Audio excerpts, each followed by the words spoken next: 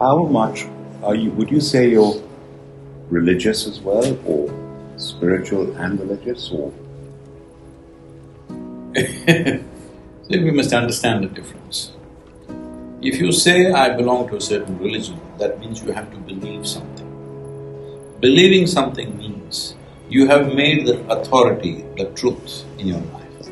Spiritual process means you want to seek what is the truth, where truth is the only authority for you. For me, truth is the only authority. No authority is ever truth no matter what is that kind of authority. That's why I'm always in trouble with something.